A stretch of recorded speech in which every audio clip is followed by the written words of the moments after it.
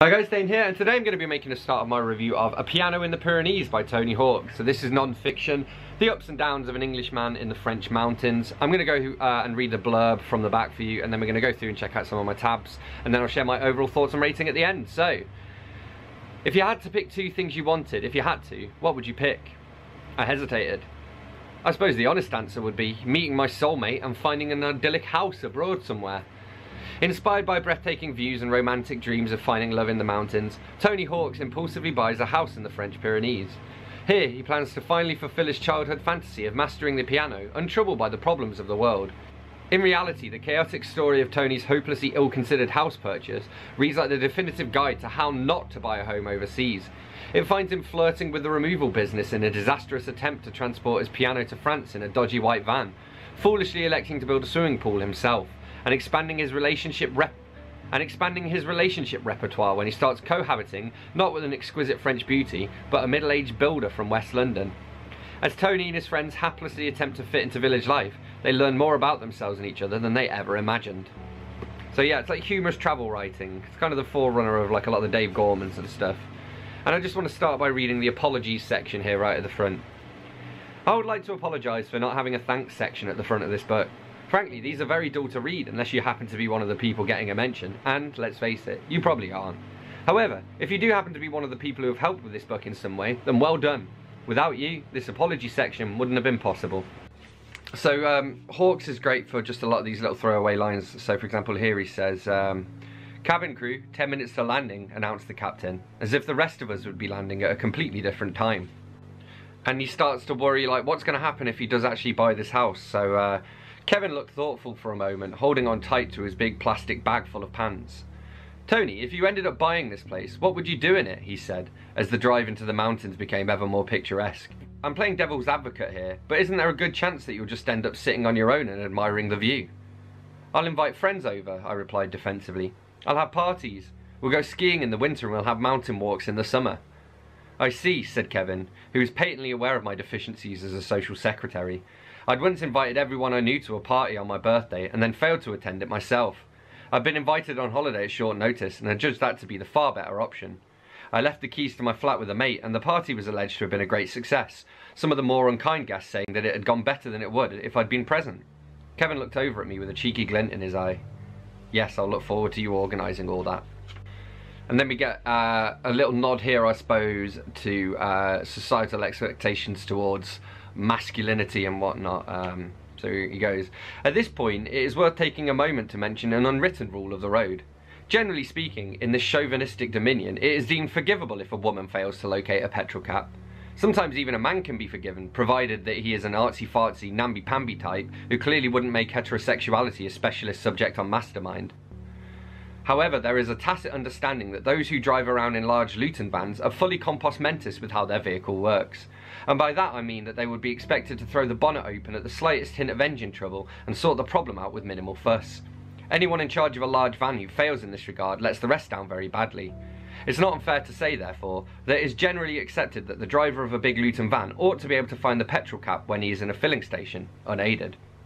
I, however, was not coming up with any answers as to the location of the petrol cap, and cars were beginning to build into a queue behind me. In desperation, I looked around for help. I needed to ask someone, but I was scared. I didn't want to admit that I was a bloke in a van who couldn't find his petrol cap. It would just be too, too embarrassing. There were two other van drivers on the forecourt, and I took a deep breath and tried to determine which one looked less like he had a criminal record, which, as it happened, wasn't an obvious choice. I selected the stocky red-headed man on the grounds that his van was cleaner and that this might mean he was a more compassionate type. I was fully aware, however, that as soon as I opened my mouth, I would lose all dignity. And then he decides to set off, he's setting off to France with his friend Tim, and uh, they're out in this basically shit heap of a van that he's bought. Tim and I began our first conversation of the trip, experimenting with the volume levels that would be required on board such a noisy vehicle. Sleep well last night? I called out, perhaps slightly louder than necessary. Like a baby, he shouted back. I didn't ask if this meant that he'd woken every two hours screaming and then fouled himself. I thought this was quite an interesting little observation here. The afternoon saw the first of the many managerial chores that face any overseas home purchaser, I needed to open a bank account. We forget just how laden our adult lives have become with administrative and bureaucratic baggage. Because we have taken a number of years to acquire our bank accounts, credit cards, insurance policies, driver's licenses, national insurance numbers and the rest, we have forgotten just how uninspiring and tedious each individual acquisition happened to be. Now that I had chosen to establish my bureaucratic presence in a new nation state, a veritable plethora of dreary, pompous and largely incomprehensible French paperwork lay in wait for me. One morning he wakes up to find out that he has, uh, it says, uh, disappointed to find that I had what the French call un gueule de bois, wooden gob and what we British call a hangover. Yeah, that's one of the many dialect words that I thought was important for me to learn, so I knew that one. Actually, his French in this is quite interesting because, I mean, I found it pretty easy to follow along with all the conversations. But I think even if you were just like, just had high school French, you'd be able to get the grist, get the, get the gist of what's being said, you know? He only switches to French in this for like, humorous exchanges, I guess. But it was interesting to me because I have experimented, well, toyed with the idea of going out to live in France, and I still might do that one day at some point in my life. So he goes out and um, in, engages in some of the local traditions and whatnot, and we get here uh, a grey-haired man with chiseled angular features approached me, proffering a plastic cup of red wine.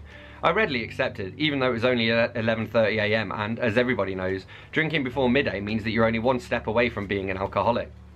And then uh, he tr he's trying to explain that he doesn't eat meat. He does actually cave as well, because basically he was mostly not eating meat to try and impress somebody years ago, and had just remained vegetarian. But um, yeah, so we've got here, uh, pork ou poulet, she asked. Pork or chicken? Was this a question about my preference for the main course, or the opening gambit of a traditional local word game? Either way, I got the answer wrong. Avez-vous quelque chose sans bien? The girl looked at me like I was utterly mad. Had she heard me correctly? Was I really asking if they had anything without me? Pardon, she said. Avez-vous quelque chose sans viande? I repeated.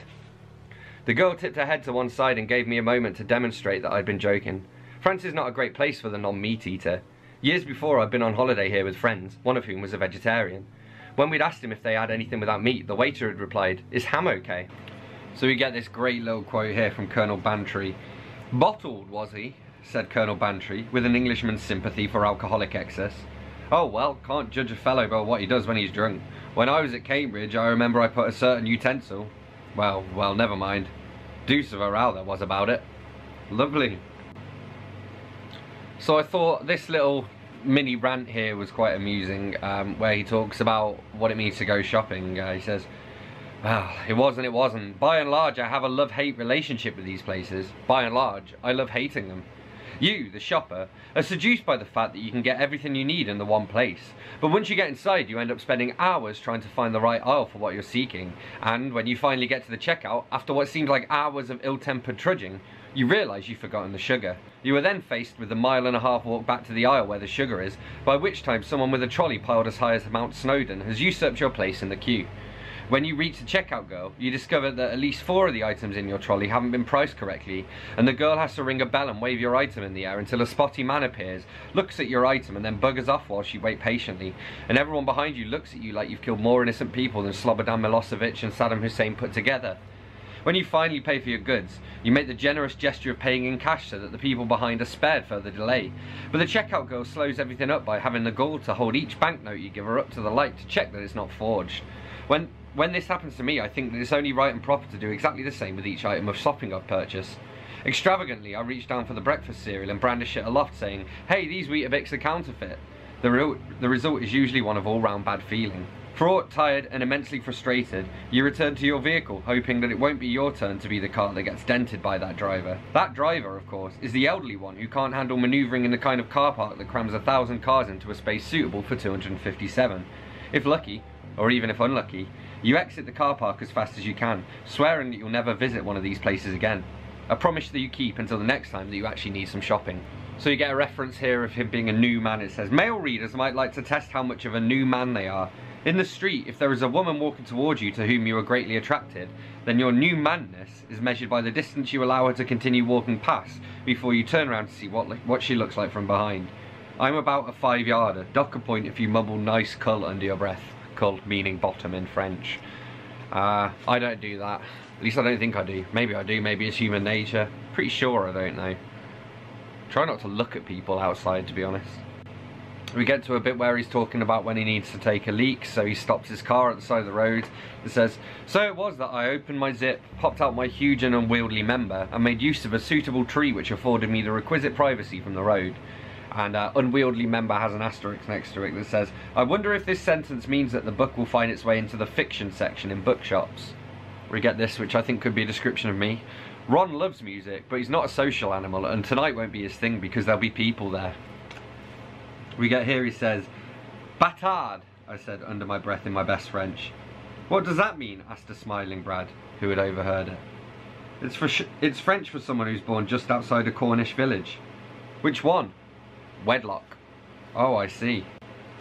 And he's dancing a polka with a French woman, and we get, uh, What is that face you're pulling? said Monique, as she spun me round on yet another hasty circuit of the generously sized dance floor.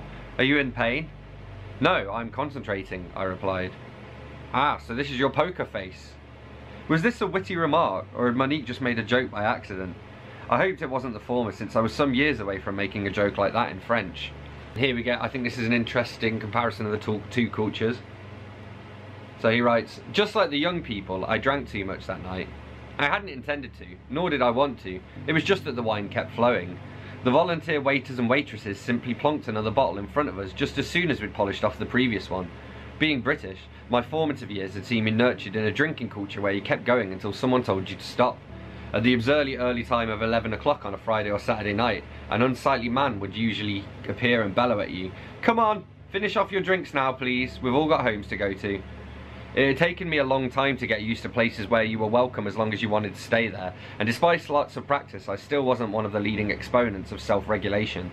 Some days it might be fair to call me a mountaineer drinker. I drink it because it's there. And he's got a bet on with somebody that the Pope's going to die during his visit, so I think Lourdes there. So it says, of course it could happen, I realised. Of course it could happen, I reasoned. If there is a God, and the Pope certainly seemed to be of that opinion from what I gleaned from a lot of his statements, then I'd noticed that every now and then he seemed to demonstrate something of a penchant for cruel irony. One example of this was the Lisbon earthquake of 1775 that killed 90,000 people, one third of the city's population. God managed to arrange for this to happen on All Saints' Day, exactly when the churches were full of people who were busy worshipping him. I reckon that he was due another such act of grievous mischief, and allowing the pontiff to snuff it in the very place where pilgrims flocked for miracle cures fitted the bill perfectly. Alas, the Pope didn't die. I say alas, obviously I don't want anybody I don't wish death on people.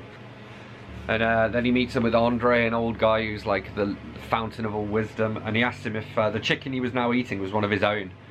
Bien sûr, naturellement, he replied. That must be tough, I thought. Eating something you've been living with. Most meat eaters console themselves with the fact that they're consuming a creature that they wouldn't recognise. I wonder what percentage of us would be vegetarians if we had to kill and eat the very animal that we'd been feeding and nurturing for months. Well, yes, quite. So all in all, I did enjoy A Piano in the Pyrenees by Tony Hawks. It's probably not my favourite of his books, and I've read like three maybe now. Uh, but it was alright. I'd still give it like a pretty solid 3.5, maybe 3.75 out of 5. Uh, my attention did start to wane towards the end. It also had, it kind of left you feeling as though tons of stuff was happening super quickly. Um, just, I guess, I don't know. It just, the, the pacing of it was a bit weird, I guess. And that's kind of strange to say, bearing in mind it was about real life or whatever. It just felt like the first half of the book happened over like six weeks and then the remaining half happened over like two years or something, I don't know. yeah, overall I did enjoy it, would recommend A Piano in the Pyrenees if you're interested in some humorous non-fiction, some travel writing. So there you have it, that's what I made of A Piano in the Pyrenees by Tony Hawks. As always, don't forget to let me know what you thought of this book if you read it. Hit that like button if you've enjoyed this video, hit that subscribe button for more, and I will see you soon for another bookish video. Thanks a lot. Bye-bye.